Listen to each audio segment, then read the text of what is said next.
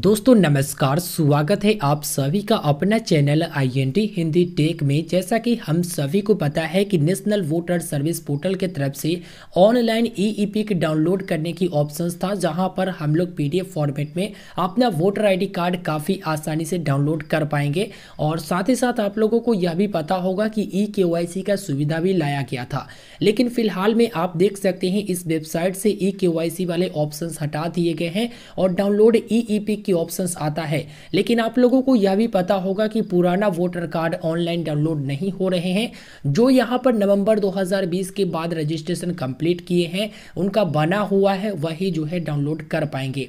अब यहाँ पर आप लोगों को यह भी पता होगा कि इनके तरफ़ से एक फरवरी 2021 का समय दिया गया था। उस समय को पोस्टपोन्ड कर दिया गया है, यानी कि उसे आगे बढ़ा दिया गया है। तो आप लोगों को इस वीडियो में इसके बारे में जानकारी देने वाले हैं कि आखिर जो है पुराना वोटर आईडी कार्ड कब से डाउनलोड होना स्टार्ट होगा और ई के कंप्लीट आप लोग कैसे कर पाएँगे, उसमें क्या प्रक्रिया आपको करना पड़ेगा, क्या कोई डॉक्यूमेंट लगेगा या फिर नहीं लगेगा। तो आप वीडियो के अंत तक बने रहिए। लास्ट में मैं आपको जो है कस्टमर केयर का कॉल रिकॉर्डिंग भी सुनाऊँगा, लेकिन सबसे पहले जो हम बात बता रहे हैं, उसे आप ध्यान से सुनिए। देखिए दोस्तों, सबसे पहले बात कर लेते हैं ई के के बारे में। आप लोगों को मैं बता दूँ कि ई के सेवा जो है आप लोगों को मिलना स्टार्ट हो जाएगा। फरवरी मंथ के लास्ट नहीं तो मार्च मंथ के फ़र्स्ट वीक में। जी हाँ फरवरी मंथ के लास्ट वीक, नहीं तो मार्च मंथ के फ़र्स्ट वीक में आपको जो है ई के वाला सुविधा देखने को मिल जाएगा।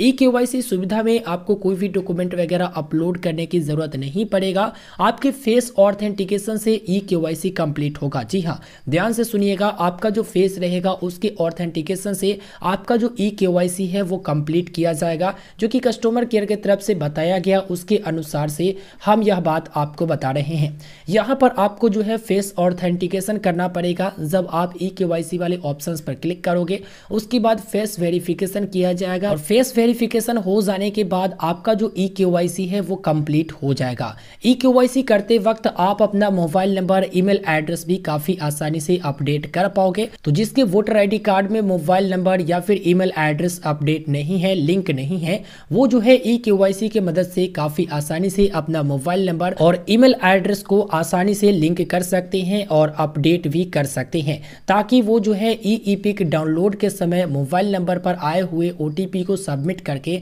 अपना वोटर आईडी कार्ड पीडीएफ रूप में आधार कार्ड की तरह डाउनलोड कर सके। तो यहाँ पर ई के की सुविधा भी आप लोगों को पहले मिलेगी, जहाँ पर आप लोग पुराना वाला वोटर आईडी कार्ड का ई के कंप्लीट करके मोबाइल नंबर चाहो तो लिंक कर सकते हो और फेस ऑथेंटिकेशन कंप्लीट करके आप अपना ई के को कंप्लीट कर सकते हैं।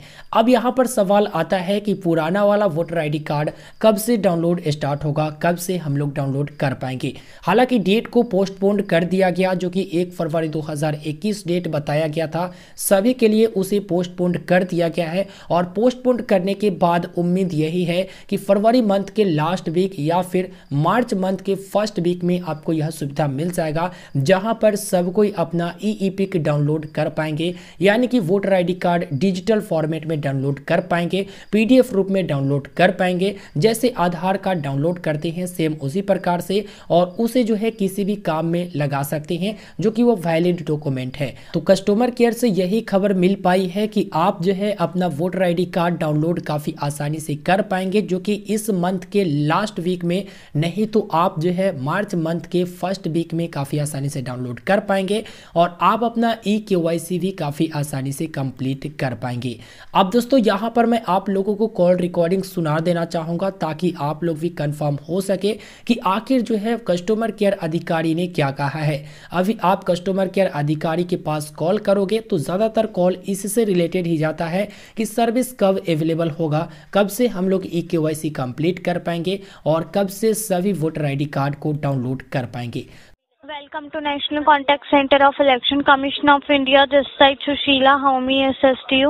Hello yes बताइए मैडम हमें जानना था कि पुराना वाला जो डिजिटल वोटर कार्ड है वो कब से मतलब डाउनलोड होना स्टार्ट होगा जानकारी देने से पहले क्या मैं आपका नाम जान सकती हूँ गौतम कुमार लाइन पे रहिए डिटेल को अपडेट किया जा रहा है जी सर वोटर आईडी कार्ड सिर्फ़ अभी उन्हीं के ही डाउनलोड हो रहे हैं जिन्होंने समरी रिवीजन पीरियड में अप्लाई करा है नवंबर दिसंबर में जिनके पुराने हैं डेट को पोस्टपोन कर दिया गया है मार्च की फ़र्स्ट वीक पोस्टपोन हो गया वन फरवरी से होना था पोस्टपोन कर दिया गया फरवरी एंड से चालू हुआ गौतम जी या तो मार्च की फ़र्स्ट वीक से। अच्छा ये जो है मतलब ई के वाई सी कब से होगा? मार्च की फ़र्स्ट वीक या फरवरी एंड से। तो मैडम इसका कुछ प्रोसेस है पता ई के वाई सी का? मतलब आधार से करनी है या फिर कोई डॉक्यूमेंट अपलोड फेस से बॉटम बायोमेट्रिक होगा आपके फेस से। फेस ऑथेंटिकेशन फेस से आपके फेस से बायोमेट्रिक किया जाएगा। अच्छा। जी। और उसमें कौन कौन से डॉक्यूमेंट लगेंगे? केवाईसी में कोई डॉक्यूमेंट नहीं लगेंगे। ओनली फेस ऑथेंटिकेट किया जाएगा। जी। जी तो ये भी मतलब उसी समय से स्टार्ट होगा। जी। अच्छा मैडम और एक और बात जानना था जैसे पुराना जो भी मतलब वोटर आईडी कार्ड है जी। तो जो अभी डाउनलोड नहीं हो रहा है मतलब नवंबर के बाद वाला डाउनलोड हो रहा है पहले वाला नहीं हो रहा है। जी। तो नवंबर के पहले वाला सभी वोटर आईडी कार्ड का फेस ऑन ऑथेंटिकेट करना होगा या फिर अब जो अप्लाई हो रहा है उसका भी करना होगा? अगर केवाईसी मांगेगा तो केवाईसी करते टाइम बायोमेट्रिक होगा। अच्छा के करते टाइम। जी। अच्छा मैडम किसी और तरह से सहायता कर सकती हूँ? अच्छा एक और बात जानना था जैसे वोटर आईडी कार्ड जब अप्लाई हुआ था उस समय मोबाइल नंबर नहीं दिया गया था। कि मोबाइल नंबर ऐड करना है voter ID mobile number add करना है केवाईसी के टाइम पे होगा अभी नहीं होगा। तो दोस्तों, आप लोगों ने कॉल रिकॉर्डिंग सुन लिया कि कस्टमर केयर का क्या कहना है? तो रोज रोज वेबसाइट चेक करने से अच्छा हुआ कि आप लोगों को एक फिक्स्ड समय मिल गया। फिक्स्ड समय कहने का मतलब है कि आपको इस मंथ के लास्ट वीक में देखना है या फिर अगले मंथ के फ़र्स्ट वीक में आपको ट्राई करके देखना है। यहाँ पर डाउनलोड होना स्टार्ट हो जाएगा और जब डाउनलोड होना स्टार्ट हो जाएगा तो फिर मैं एक डिटेल में वीडियो ज़रूर बना दूँगा। इस वीडियो में हमने आपको डिटेल पूर्वक जानकारी प्रदान कराया है। उम्मीद करेंगे कि आप लोगों को यह वीडियो पसंद आया वीडियो पसंद आया तो वीडियो को लाइक करिए शेयर करिए और यदि इस वीडियो से जुड़ी कोई भी सवाल होता है तो वीडियो के नीचे कमेंट करना बिल्कुल भी ना भूले। मिलते हैं फिर एक नए वीडियो में। हमें दीजिए इजाज़त तब तक के लिए गुड बाय दराज में रहता था और कभी कभी गुम भी हो जाता था। लेकिन अब मैं डिजिटल हो गया हूँ। हमेशा साथ रहता हूँ। रहोगे क्यों नहीं? इजी हो आसान हो हम सब की पहचान हो। अब वोटर कार्ड हुआ डिजिटल आप भी आज ही अपना वोटर कार्ड मोबाइल से लिंक करें डिटेल्स चेक करें ऑथेंटिकेट करें और डाउनलोड करें. इसके लिए www.voterportal.eci.gov.in या www.nvsp.in या वोटर हेल्पलाइन मोबाइल ऐप पर जाएँ।